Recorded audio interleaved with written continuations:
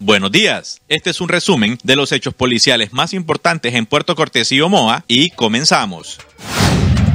Don Fabián Pineda Castillo resultó herido con arma blanca tipo machete, luego de tener un altercado con un vecino en la aldea del Chile de Puerto Cortés. El suceso se reportó en horas de la tarde y don Fabián Castillo fue llevado al hospital de este municipio con una fuerte herida en su cabeza. Para horas de la noche, la policía de este municipio portuario reportó la detención de la persona que hirió a Fabián Castillo. Así lo informaba el subcomisionado Murillo Pérez. También se le dio captura a una persona que ustedes eh, acertadamente daban la noticia hoy sobre una persona que fue herida con arma blanca tipo machete, ya está capturado, ya se le comisó el arma y también está siendo remitido a la fiscalía en este momento.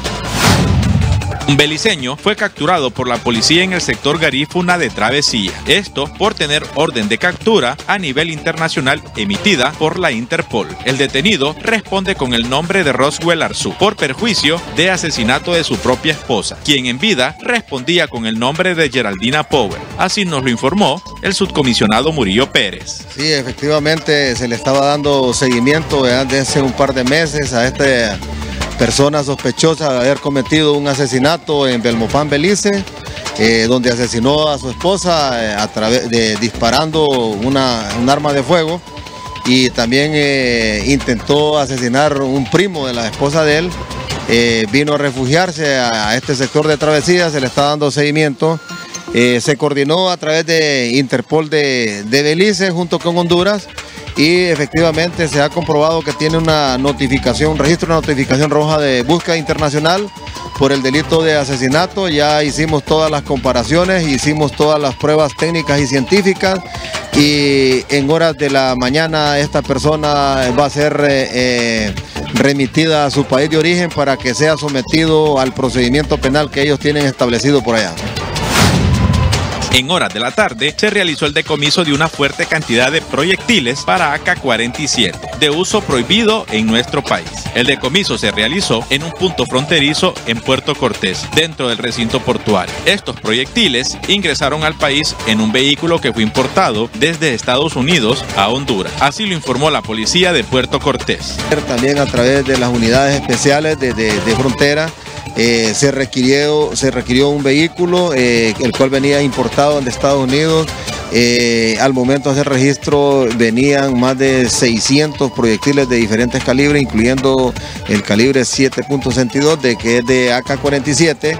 Y ese caso también está en proceso de investigación para que la, la Fiscalía y las unidades especiales, tanto de inteligencia como de investigación, hagan el procedimiento que la ley establece.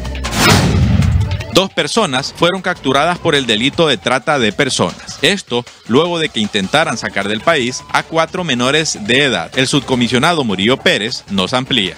Eh, en, a la altura de Chachaguala eh, teníamos un, retén eh, móvil cuando se requirió un vehículo en donde iba, se transportaban dos personas mayores de edad de nombre eh, Ronald Alfredo López Guzmán y Marvin Javier Mejía Pineda, uno de la colonia eh, Fernández Guzmán de San Pedro Sula y el anterior de Potrerillo, uno de 38 años y el otro eh, aproximadamente 40.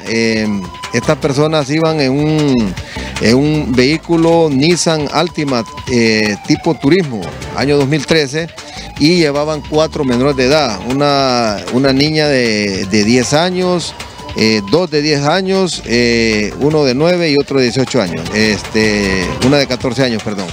Entonces eh, iban cobrándoles, según las investigaciones preliminares que se han hecho ahorita, aproximadamente entre 30 mil a 35 mil dólares. Estamos hablando de casi 850 mil empiras y con estas imágenes que nos comparte Noris Carranza, este fue un informe de Gustavo López para HCH Televisión Digital. HCH Sucesos.